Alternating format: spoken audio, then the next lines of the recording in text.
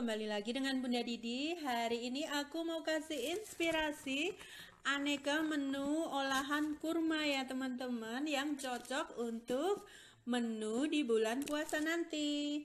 Karena biasanya kurma kan hanya disajikan aja langsung. Nah biar nggak bosan, sebenarnya kurma bisa diolah menjadi aneka takjil yang enak loh. Nah, kebetulan aku punya aneka kurma premium dari Barari. Nah, ini ada macam-macam kurma yang aku punya.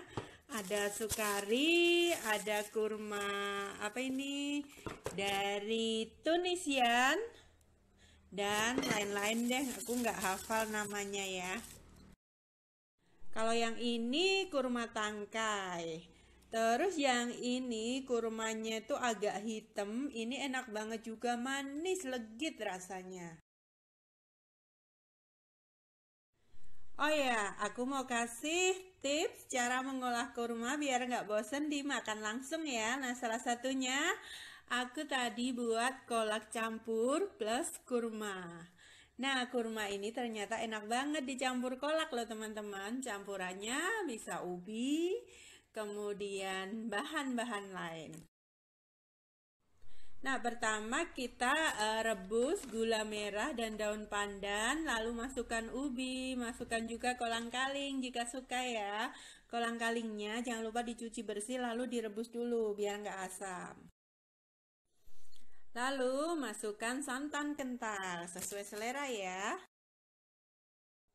Selanjutnya aduk rata ya. Jangan lupa cek rasa dulu, kurang garam atau kurang manis sesuai selera ya.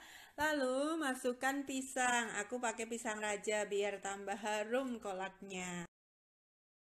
Selanjutnya tinggal dimasak sampai pisang agak layu. Nah, kalau ubi dan kolang kalingnya tadi kan sudah matang. Nah, terakhir masukkan kurmanya. Nah, ini jangan dimasak terlalu lama ya, agar kurmanya tidak hancur. Langsung aja diaduk sebentar, lalu sajikan.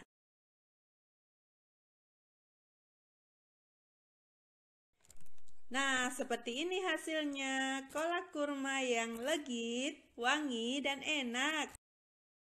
Selain kolak, olahan kurma lain yang segar dan pas untuk menu takjil buka puasa nanti di bulan puasa adalah setup kurma dan nanas. Aku udah coba, ini juga enak banget teman-teman. Rasanya segar, perpaduan uh, manis asemnya nanas dipadu dengan manisnya kurma, enak banget.